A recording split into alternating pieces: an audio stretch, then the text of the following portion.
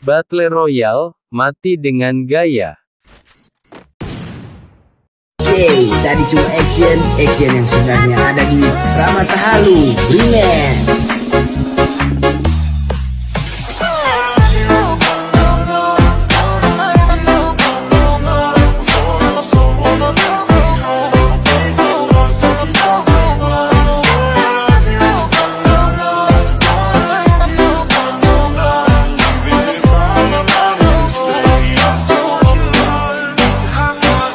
Halo guys, baik lagi di channel Paris Gaming.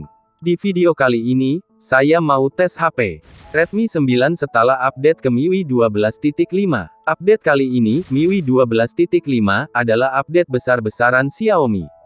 Apa saja yang diperbaharui? Yang pertama, patch security ditingkatkan ke bulan Agustus tahun 2021.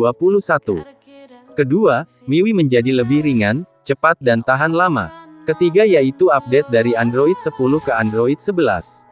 Dan masih banyak lagi. Updatean kali ini jauh lebih baik daripada update sebelumnya, MIUI 12.0.3, yang mana, HP terasa sekali lemotnya, dan main game jadi patah-patah. Mohon maaf kalau saya jarang sekali upload, saya usahakan satu minggu satu kali atau dua kali upload video.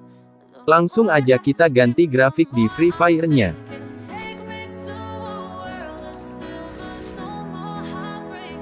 Grafik Ultra. Resolusi tinggi sengaja saya matikan, kenapa? Karena resolusi tinggilah yang menyebabkan HP menjadi frame drop, karena resolusi tinggi menampilkan grafis detail yang jelas. Shadow on. Filter klasik, dan high FPS, saya aktifkan, karena supaya game menjadi lebih smooth dan halus dipandang. Dengan resiko HP menjadi panas, baterai menjadi boros, kemungkinan terbesar menjadi frame drop parah. Langsung aja kita tes HP-nya. Untuk masuk ke starting island, untuk MIUI 12.5 sekarang 23 detik, yang biasanya 31 detik. Mungkin sudah faktor 11 bulan pemakaian.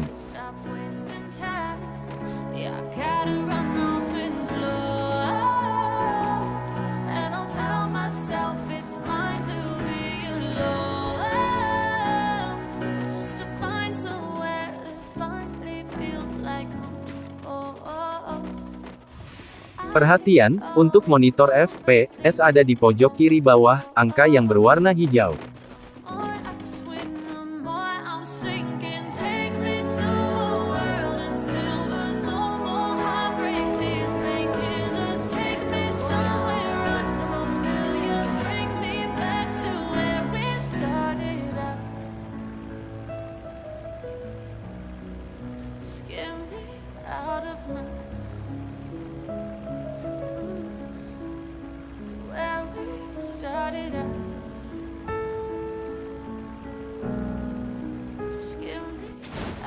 Di sini saya turun di Brasilia, supaya bisa melihat langsung, apakah ada penurunan FPS.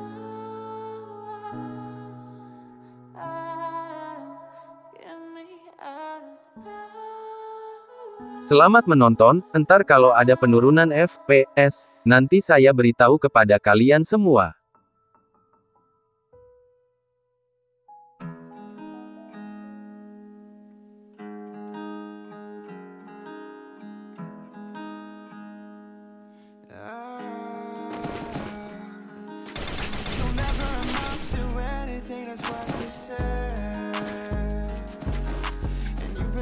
Mungkin ada yang mau bertanya, langsung saja komen di kolom komentar ya.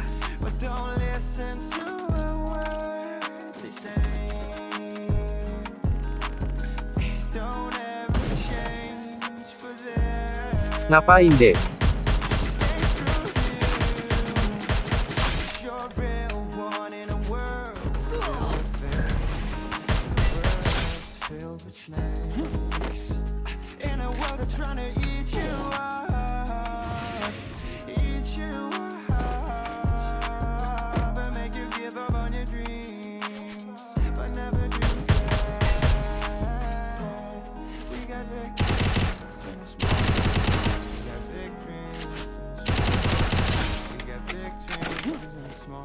Selama ini belum ada penurunan FPS di bawah 30.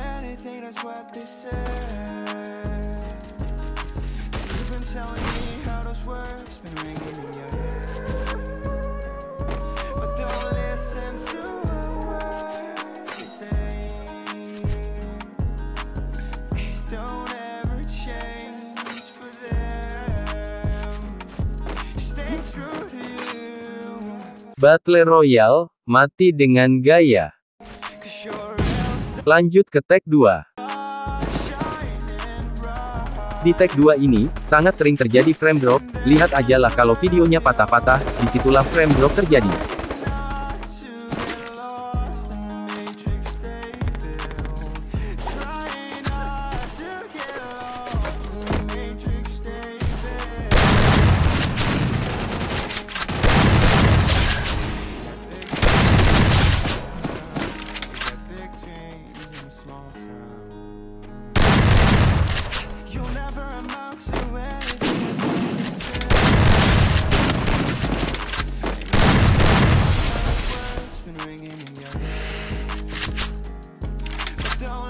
sense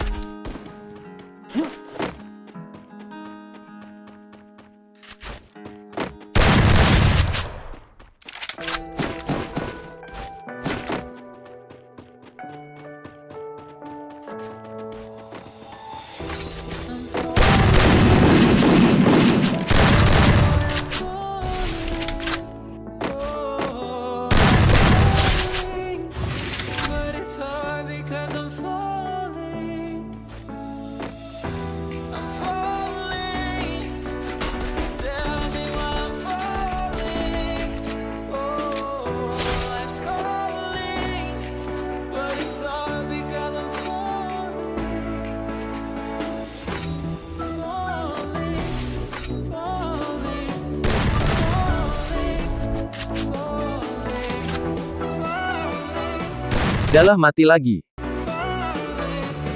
Oke untuk match kali ini, map Bermuda, masuk ke starting island selama 32 detik.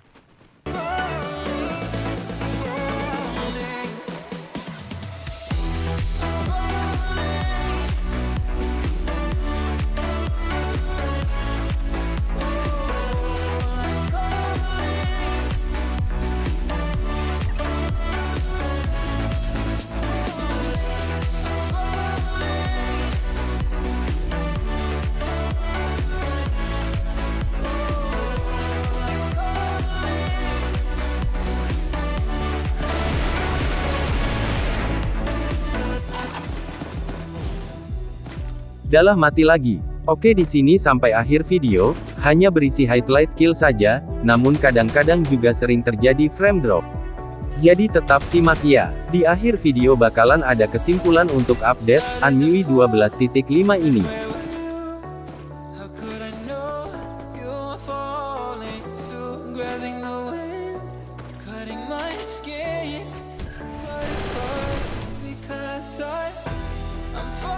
Di sini saya main di mode klasik, makanya ada map no signal, tetapi main klasik maupun rank, sama aja, kadang nge-frame kadang lancar.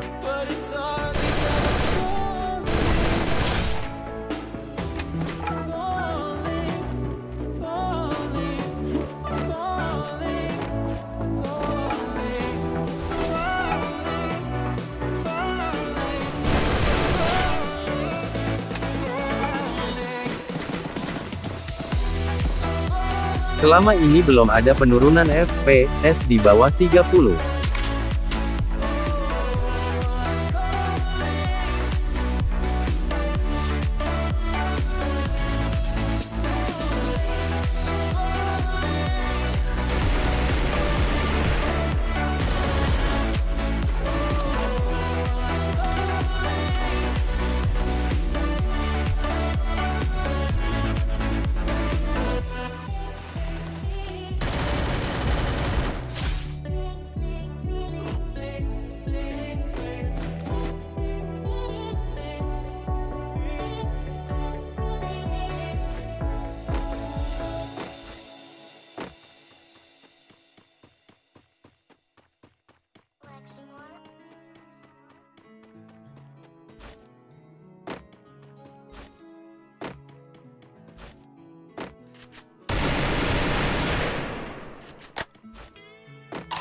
Untuk kesimpulan dari tes FF, After update Mi, UI 12.5 adalah 1. Game menjadi lebih ringan daripada MIUI sebelumnya. Yang mana di MIUI sebelumnya HP Redmi 9 sangat berat. 2. Tampilan UI menjadi lebih smooth dan lebih bagus. 3. Untuk soal baterai menurut saya sama aja, ya kemungkinan. Faktor sudah 11 bulan pakai. 4. Game booster sudah diupdate, tampilan baru, dan ada mode balance dan performa yang mana game menjadi lebih ringan. Ini adalah gambar dari game booster terbaru. Mungkin dari kalian yang tampilannya belum begitu. Silahkan saja update keamanan terbaru. 5. MIUI menjadi lebih ringan, cepat dan tahan lama. Serta rendering 20 kali lebih cepat dari sebelumnya. Mungkin cukup segini saja video kali ini. Jika ada yang mau bertanya, langsung aja komen di kolom komentar ya. Terima kasih banyak yang sudah menonton. Semoga kebeli ya. Had a dream that we could fly last night. I had a dream about you and I.